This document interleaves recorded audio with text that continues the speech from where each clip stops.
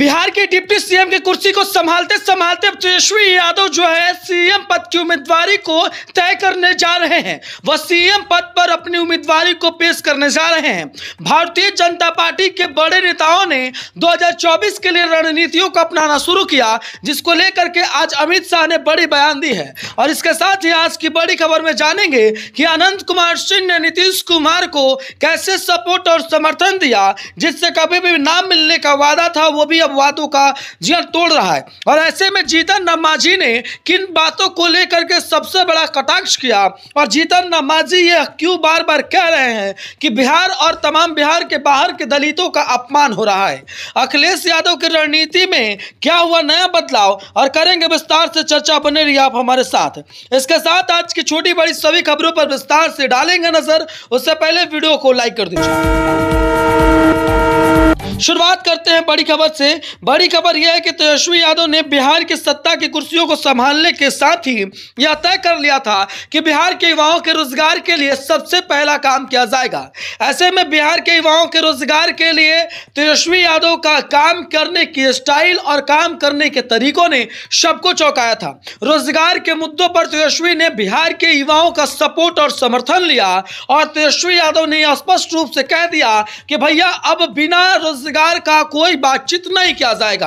बिहार के लोगों को रोज़गार चाहिए और रोज़गार तेजस्वी यादव दिलाएँगे। इसलिए बिहार के युवाओं को रोज़गार के लिए प्रेरणा देते हुए तेजस्वी यादव ने बड़ी बात कहते नज़र आए। ऐसे में तेजस्वी जब यह बात कहे तो वक्त था 2020 का। 2023 में अब इनकी सरकार है और तेजस्वी यादव इतिहास रचने जा रहे हैं। तमाम युवाओं को रोज़गार देने जा रहे हैं। अगर आप भी इस बात के फ़ैन और तेजस्वी यादव के कट्टर समर्थक है तो इस वीडियो पर पाँच से ज़्यादा लाइक करके समर्थन दर्ज कर दिया।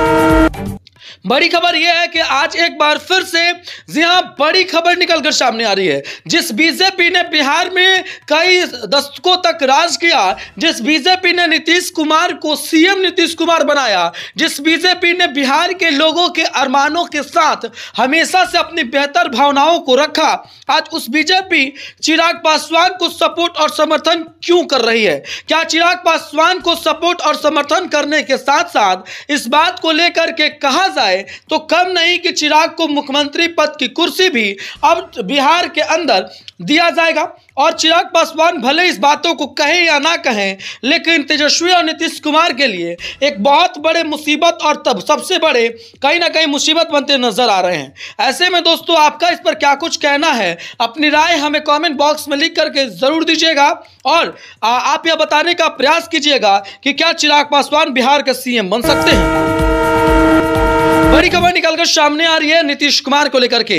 नीतीश कुमार जब अपनी समाधान यात्रा कर रहे थे, इस दौरान एक ऐसे ज़िले में वह पहुँचते हैं, जहाँ उनके सुरक्षा में एक फर्जी पुलिस वाला मौजूद होता है। और ऐसे में जब फर्जी पुलिस वाले की बात सामने आती है तो स्पष्ट रूप से सवाल तो उठना लाजमी था। कुछ लोगों ने सवाल इस पर कर डाला।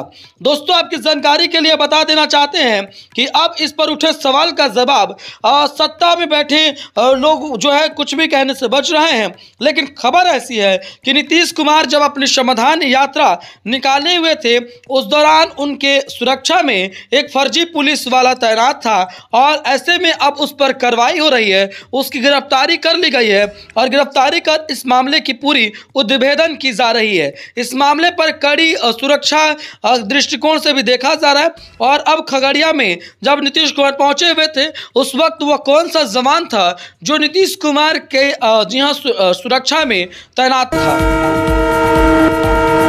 दोस्तों, आपके लिए एक बहुत ही बड़ी गुड न्यूज़ लेकर आए हैं। आईटीटी न्यूज़ की तरफ़ से होली का बेहतर ऑफ़र है। अगर आप भी होली के मौसम पर आईटीटी न्यूज़ की तरफ़ से इनाम जीतना चाहते हैं तो देना होगा चंद भर सवालों का उचित जवाब और आप जीत सकते हैं ढेरों सारा इनाम लैपटॉप से टैबलेट तक और तमाम बड़ी चीज़ें। इनाम जीतने के लिए आपको सबसे पहले इस वीडियो को लाइक करना होगा और यह बताना होगा कि बिहार में सबसे पहली बार नीतीश कुमार मुख्यमंत्री कौन से सन में बने थे, यानी कौन से ईस्वी में बने थे? सही जवाब दीजिएगा और इंस्टाग्राम पे फॉलो कीजिएगा। बड़ी खबर यह है कि आज जब भी होली में बिहार से बाहर के तमाम लोग आना चाहते हैं, बिहार से बाहर से तमाम लोगों का आगमन हो रहा है तो ऐसे में लोगों को काफ़ी परेशानी हो रही है। इस वक्त ट्रेनें लगातार भीड़ चल रही हैं, ट्रेनों में खचाखच लोगों के भरे जाने और इसके साथ साथ कुछ अनोखी तस्वीरें सामने आ रही है, जो लोगों की आँखों में आँसू भर रहा है। दरअसल दोस्तों, आज अपनों से दूर लोगों ने अपने पेट को पालने और बच्चों के अच्छे भविष्य लिए बाहर कमाने जाते हैं। लेकिन उसके बावजूद भी उन्हें रोज़गार दिया जाता है। रोज़गार तो मिल जाता है पर जब वह अपनों के पास होली और तमाम त्योहारों में पहुँचना चाहते हैं तो कुछ अल, अलग पीड़ा से वह गूंजते हैं। अलग पीड़ा होती है उन्हें। और जानते हैं साहब क्या है जब बिहार में आना होता है ना तो रोटे सिहर जाते हैं।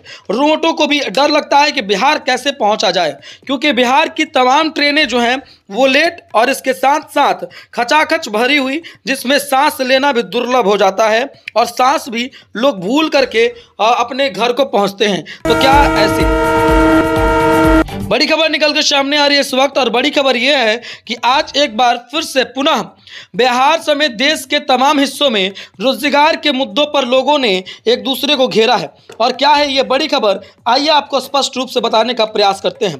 दरअसल खबर ऐसी है कि आज भारत में बेरोजगारी दर सात पॉइंट पैंतालीस फ़ीसदी बढ़ गई है। ऐसे में बेरोजगारी दलों दरों के इतने ज़्यादा बढ़े जाने के बाद में जब लोगों को रोज़गार नहीं मिलता। तब भला बिहार के सीएम और बिहार के डिप्टी सीएम ने जो वादा किया है, उसे पूरा करने के लिए निकल चुके हैं। तेजस्वी ने कहा कि भैया, अगर हमने वादा किया है, रोज़गार के लिए तो रोज़गार देंगे, लेकिन केंद्र में बैठे शासन कर रही सरकारों को ये भूल जाते हैं ये लोग कि इन्होंने कुछ वादा भी किया है और इनके वादे पूरे भी किए जाने चाहिए। खैर, आपको इस पर क्या लगता है? अपनी राय कॉमेंट में लिखिए। बड़ी खबर निकलकर सामने आ रही है और बड़ी खबर यह है कि आज एक बार फिर नरेंद्र मोदी के नाम की चर्चा हो रही है। देश के प्रधानमंत्री श्री नरेंद्र मोदी जी ने आज अंतर्राष्ट्रीय मंच पर देश के तमाम देशों को संबोधित करते आतंकवाद के खिलाफ एकजुटता और एक मंच पर आने की संदेश देते नज़र आए। उन्होंने कहा कि अगर हमें इस दुनिया से आतंकवाद को खत्म करना है, क्योंकि सबसे बड़ी समस्या हम सबके लिए, आपके लिए और हमारे लिए अगर कोई है तो वो है आतंकवाद। और हम सब अगर मिलकर के जब तक आतंकवाद को ख़त्म नहीं करेंगे, तब तक इस दुनिया से हम सबों को सुरक्षा नहीं मिल पाएगी। ऐसे में सबसे पहले प्राथमिकता वाले काम आतंकवाद को दूर करने वाला होना चाहिए, और हम सबको मिल करके आतंकवाद के प्रति अपनी भावनाओं को रखना चाहिए, और इसे ख़त्म कैसे किया जाए, इससे इसके लिए एक मंच पर आने की आवश्यकता है।